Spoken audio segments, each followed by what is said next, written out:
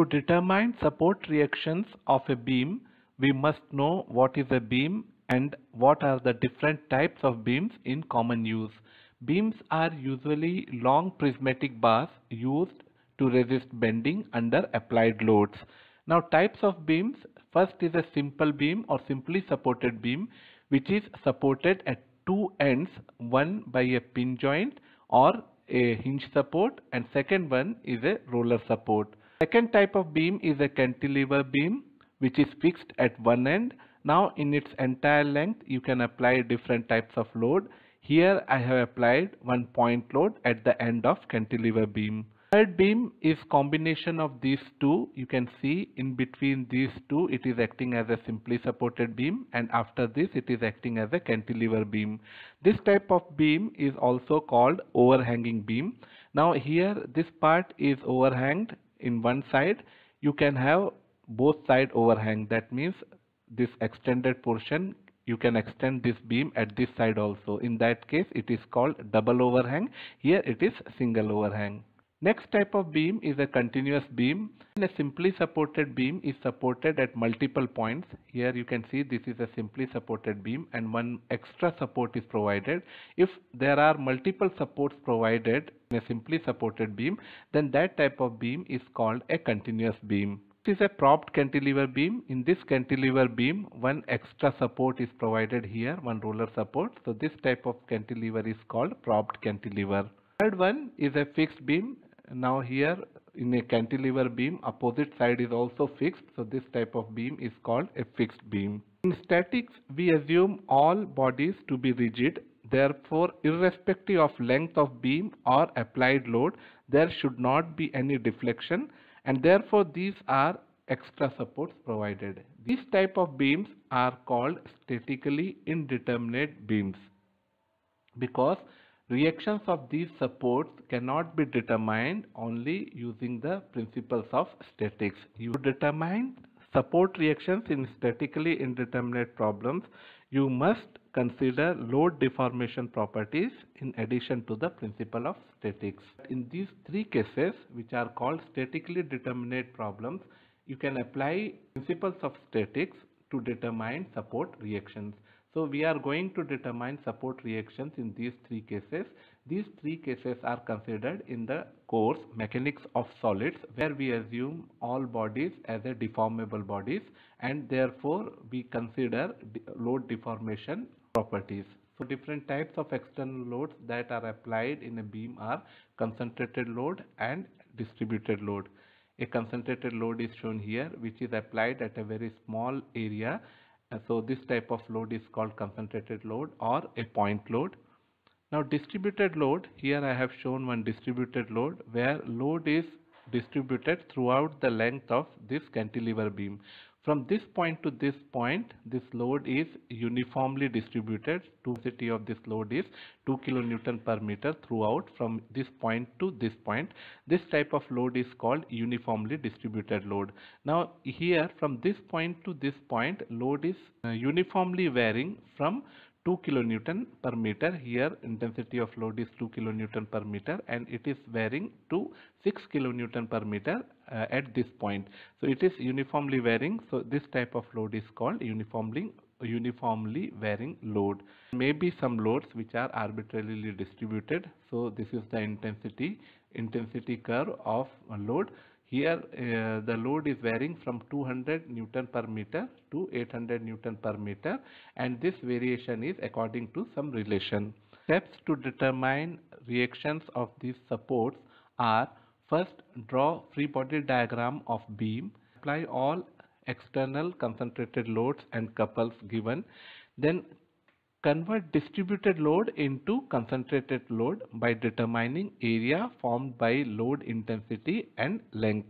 This load should pass through the centroid of area. In case of uniformly distributed load, this is a rectangle. So you have to determine area of this rectangle 2 kilonewton per meter into length 4 meter.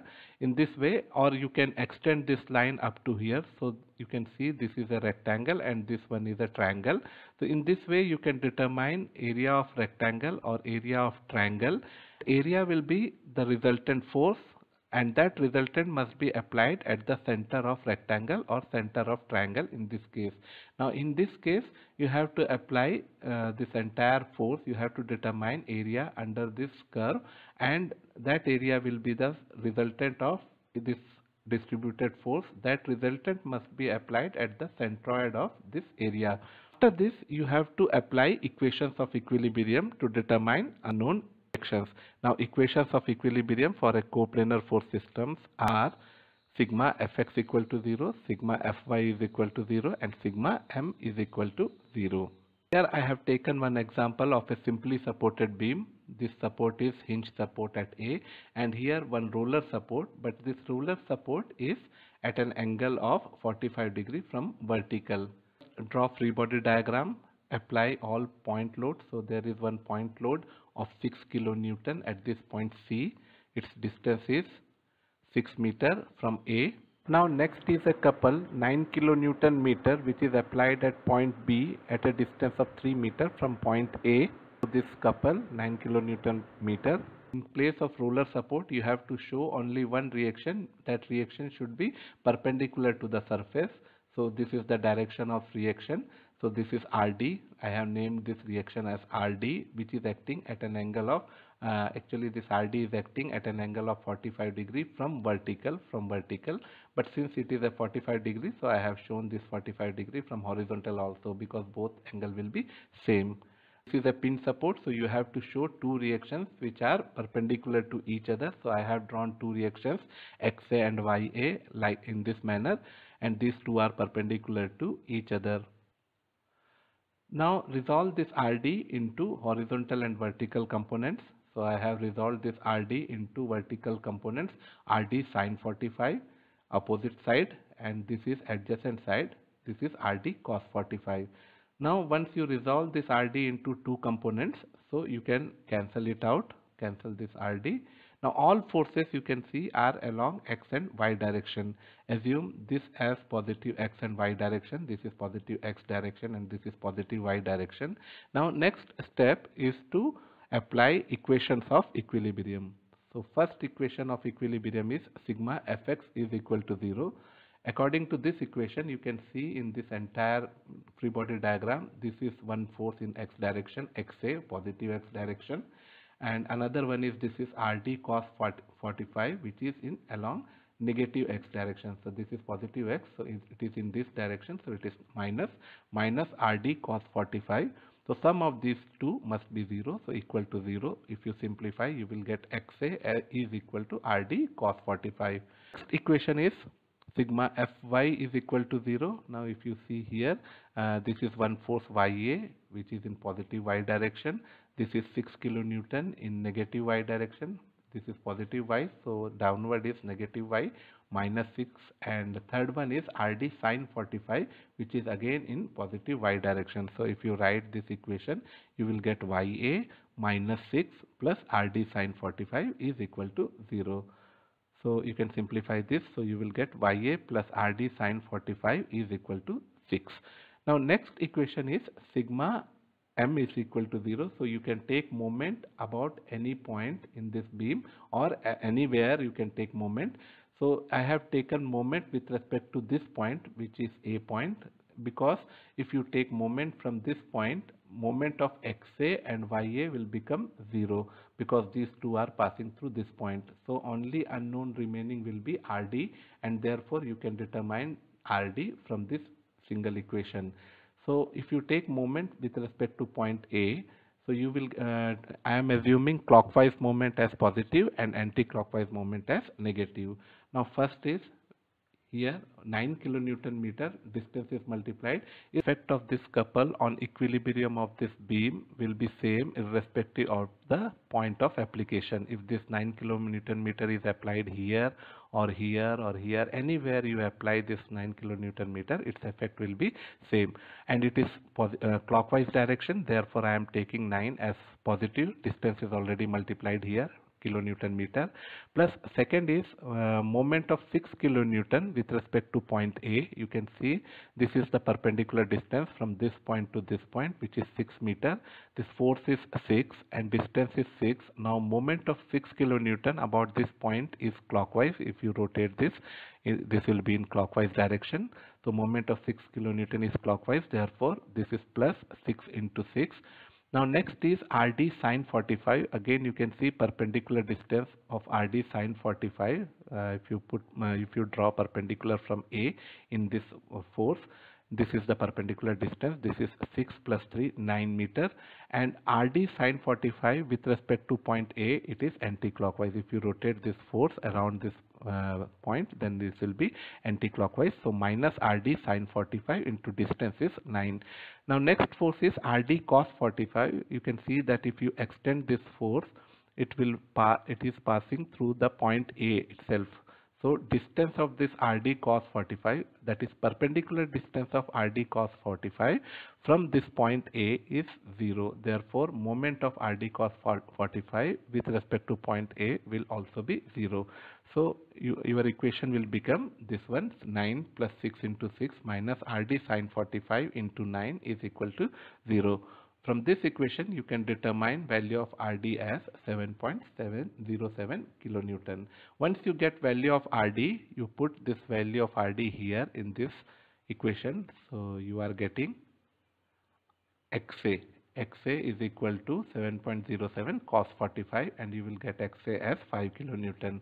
Now same this value, put this value of RD in this equation here. So you will get YA as 1 kilonewton. Once you get value of XA and YA, you can determine resultant of these two RA that will be equal to root over XA square plus YA square is equal to root over 5 square plus 1 square is equal to 5.1 kilonewton.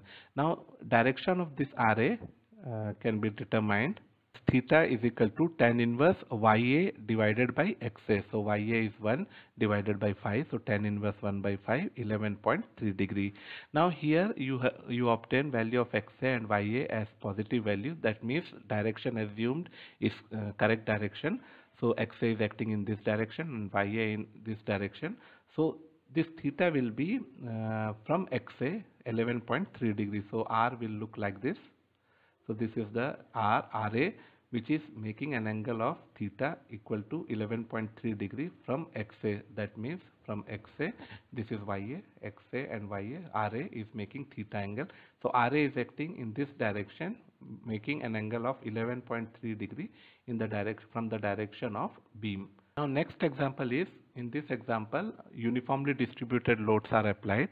So in this example, you can see uh, there are two UDLs are applied. One is uh, intensity of one is 2 kilonewton per meter for the length of 2 meter and other 1 kilonewton per meter for the length of 1 meter. First you determine this uh, resultant of these two UDLs. So first UDL 1 total load or resultant of UDL 1. So this is 2 kilonewton meter, uh, 2 kilonewton per meter at an uh, for the distance of 2 meters so total load will be 2 into 2 4 kilonewton. And you have to apply this 4 kilonewton at its centroid. At that means 1 meter from point A or E. So 1 meter uh, towards right from A or 1 meter towards left from point E. Here you have to apply this 4 kilonewton. So second UDL is uh, this one 1 kilonewton per meter into 1 meter. So this is uh, 1 into 1 is equal to 1 kilonewton and you have to apply this 1 kilo, kilonewton at the center of this rectangle or center of this UDL which is uh, 0.5 meter from point B or from point D. So draw free body diagram of this beam. Here two reactions are shown at A and B. Draw these two reactions which is which are at distances given distances and now apply point loads these are the two points point loads 1 kilonewton at C 3 kilonewton at E their distances. Now apply this uh, resultant force of this which is equal to 4 kilonewton at an at a distance 1 meter from A 1 meter from A. Mark this distance. Similarly this 1, 1 kilonewton load it is acting at a distance of 0.5 meter from point B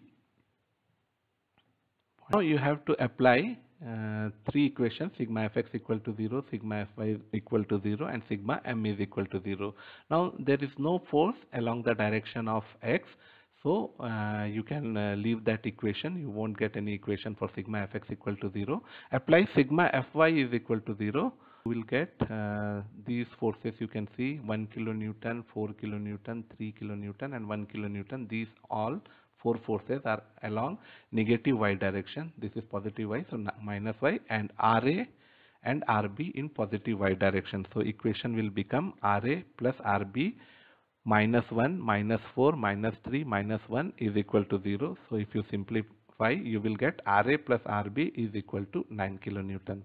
Now sigma m is equal to 0 so you can take um, moment with respect to this point so that one reaction will become 0. Moment of one reaction will become 0.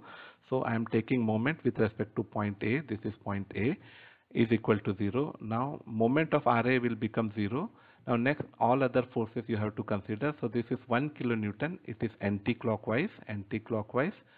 So equation will become this is 1 kilonewton anti-clockwise. So minus 1 into its distance is 1.5 meters. So 1 into minus 1 into 1.5.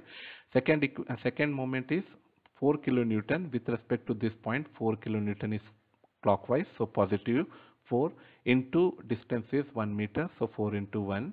Now third force is 3 kilonewton with respect to this point A again this is clockwise. 3 kilonewton is clockwise.